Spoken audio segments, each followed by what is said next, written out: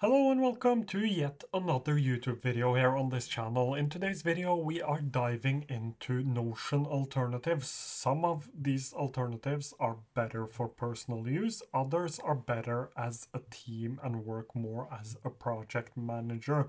And I'm going to cover a few alternatives. There are of course more out there but I might end up just doing a part two if people want to see more alternatives. So if you would like to see more Notion alternatives, comment down below, subscribe to the channel, and I will make it happen as soon as I can. But let's now jump into the first one. This is Obsidian. You might already know about it. This is more of a pure note-taking app. It has a plugin ecosystem, which means that you can customize it almost as much as you want. With these plugins, you can create databases, you can uh, manage your tasks, you can have things like calendars inside of here. So there are a lot of things you can do. Uh, what's most important about uh, Obsidian is that it is much faster than Notion because everything is local. So it is stored on your device it is stored on your device uh, on your computer and you can easily find the markdown files and you that means also that you actually own your files it means that uh, no one can take those files away from you. Uh, if the app disappears you will still have all of the files right there. That's why people love this application because of privacy and owning your own data. That's one of the main reasons why people originally moved from Notion to something like Obsidian. So this is a great choice mainly, I would say, as more of a note-taking application. It can become more of a more of a project manager using all of the plugins, but I would say that this is probably the best one for like personal note taking and just linking your notes and your ideas together. It has a learning curve to it, but it also has a lot of great YouTube videos you can check out to learn the application. So this is Obsidian and it is probably one of the best note takings, like pure note taking apps out there. This is probably top, top tier. Next up, we have a similar one, and this is actually called Anytype. Anytype is a great application, but the main problem with Anytype is that it is um, it is in its earliest stage. So it recently, like back in May, came out of the alpha stage and went into beta stage. But um, it has some bugs. That's what it mainly means. Being in such an early stage means that it has bugs. Like right now, for a couple of days, I haven't been able to use or, or open the application. I need to uh, delete it and download it again.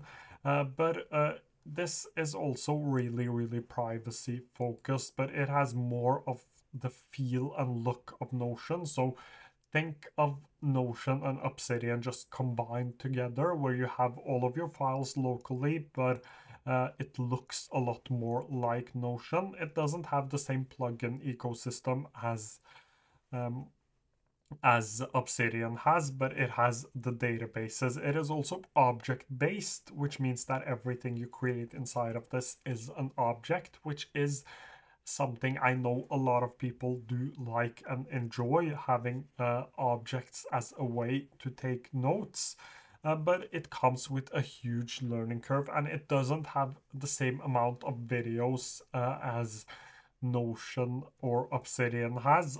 I've made quite a few videos on Anytype myself, uh, but it still has like a huge learning curve. There aren't enough videos. So if you for example, don't like my voice or don't like how I speak English, uh, uh, Anytype doesn't have many others making videos, uh, tutorial videos. There are three, four, five people probably doing in-depth tutorials on Anytype. It might be more uh, by the time you watch this YouTube video, but I have a bunch. So if you're looking to try out this application, um, do check out my channel. There are quite a few Anytype videos. What's great about Anytype is that you get the feel of Notion while uh, having the privacy of something like Obsidian. Only you can access uh, your files inside of uh, Anytype and where Obsidian struggles a bit with collaboration, this actually does a much better job. You can actually have real-time collaboration inside of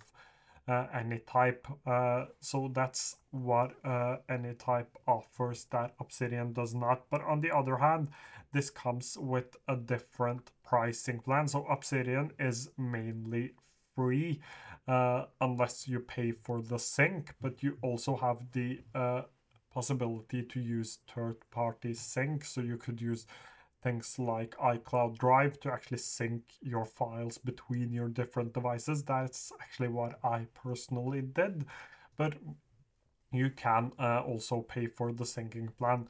This is a little different. You have the Explorer plan, which allows you to sync your devices, get backup storage, and collaborate in small groups, which means three shared spaces and three editors per shared space, and one gigabyte of network space. Space, sorry. The builder plan uh, gives you your own unique name, 128 gigs of network space, three shared spaces, 10 editors per shared space, unlimited viewers per shared space, and priority support. You also have the co-creator plan, which is basically the builder plan, but for three years, 299 for three years. Here you get a little more, or actually double uh, of the network space. But apart from that, they are quite similar. So that's the pricing plan of uh, Anytype. Next one is Microsoft Loop, and Microsoft Loop seems to look different every time I try it out. I've been away from my uh, day job for three weeks now, and it looks completely different from uh, where it was just three weeks ago. So I use this uh, in my day job. I don't use this at all uh, as my uh, or on uh, my personal time. Uh, I don't like it. I think it is the problem with this is that it doesn't quite know what it wants to be yet. But if you are on the Microsoft in the Microsoft ecosystem, so if you use things like OneNote, you have uh, Microsoft Copilot, uh, you use Microsoft Word, and everything is inside of the Microsoft ecosystem, even if you use things like Planner. This might be the perfect application for you. Not necessarily because of Microsoft Loop, but because of Microsoft uh, Loop components. That's like the main thing.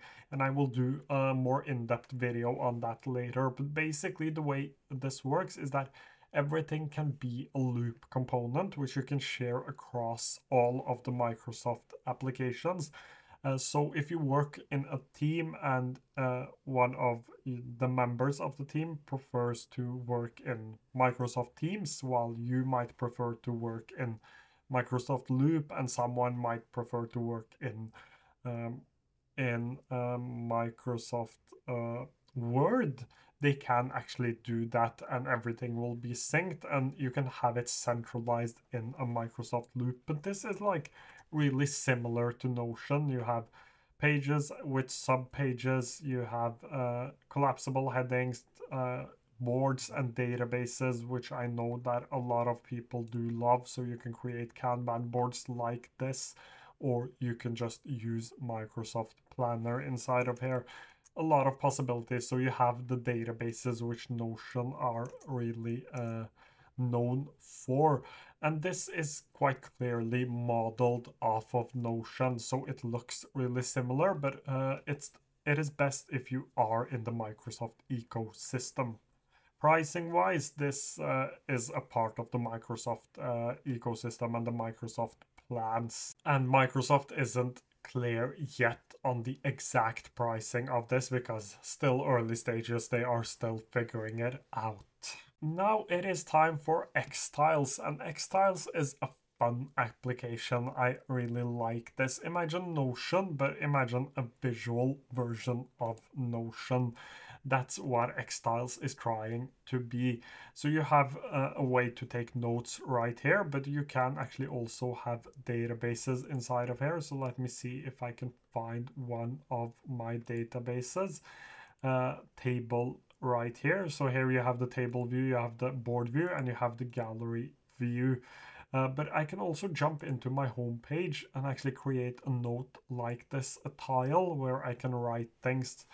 And you have the basic things you would expect in a note-taking app like backlinking, markdown support, the ability to add documents is also inside of here.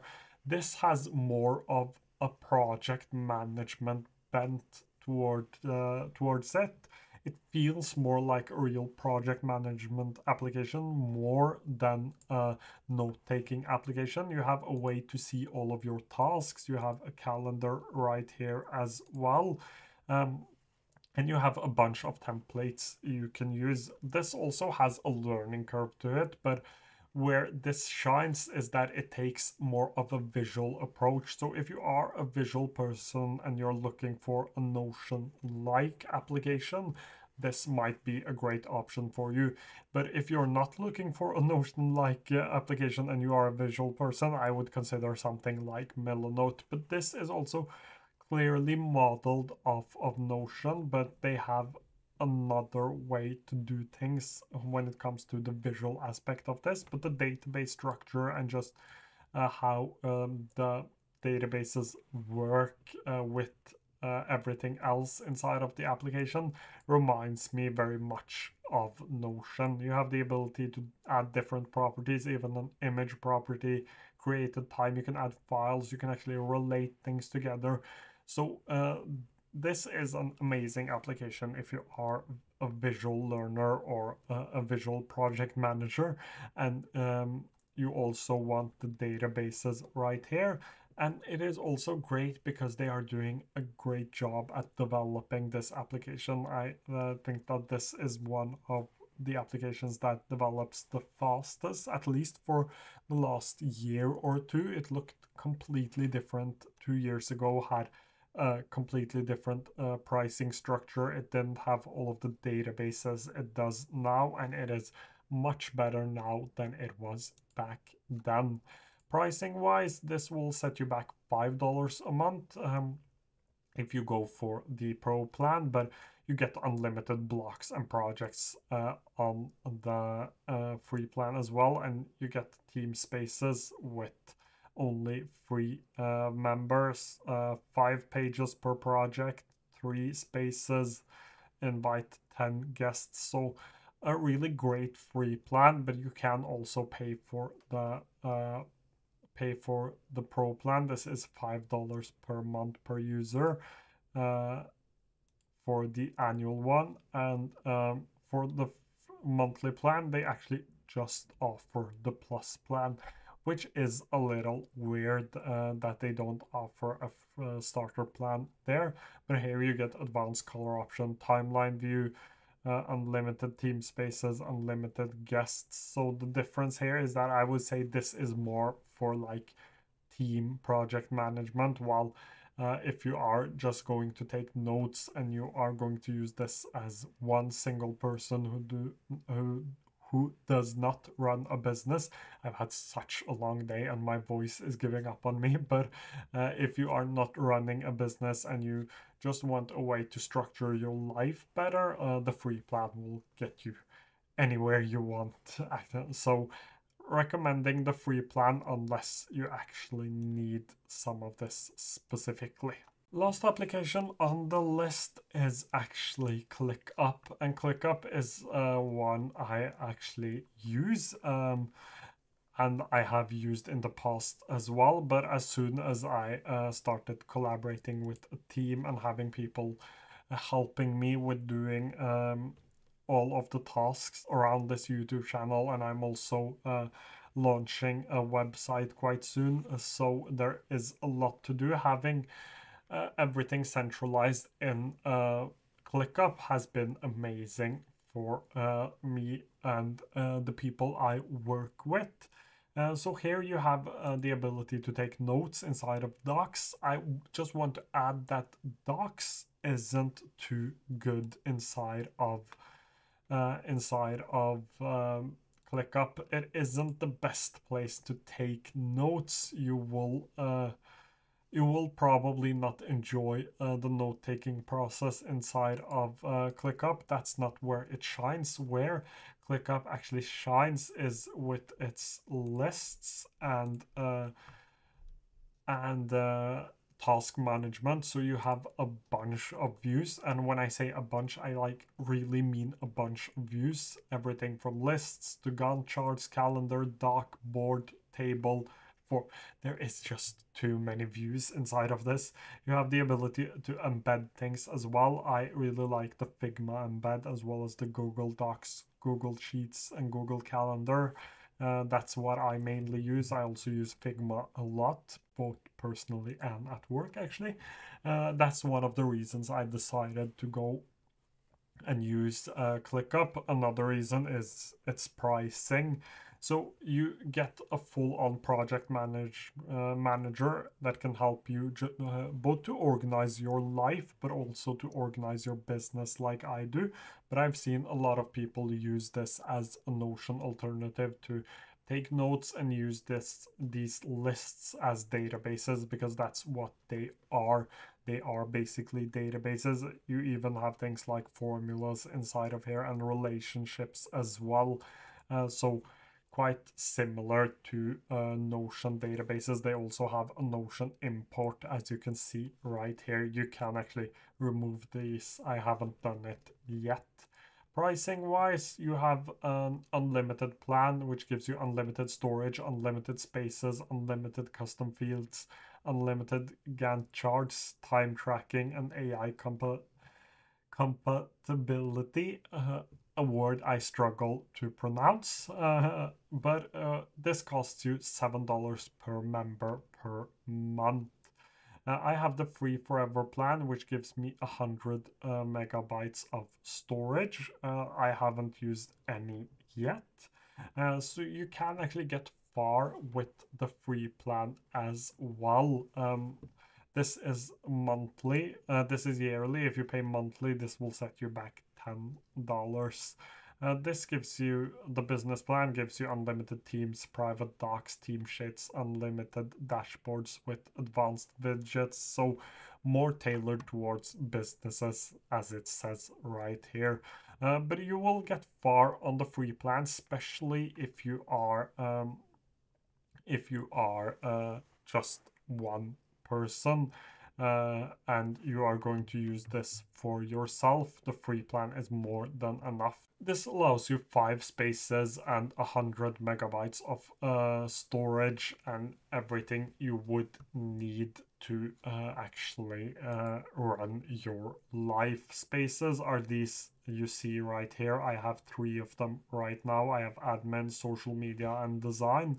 If I ever were to need more, I would uh, probably end up paying for the yearly plan. But as of right now, uh, I am using the free plan and the pricing is one of the reasons why I choose uh, to use ClickUp as my project manager uh, because I've quite recently uh, started ha having a team. Uh, so this is actually something I started using today. Or setting up today. I have used it a lot in the past. But that's uh, my favorite Notion alternatives for you. If you have any questions, feel free to leave them down below and I will try to get to them as soon as I can. Thank you so, so much for watching today's video.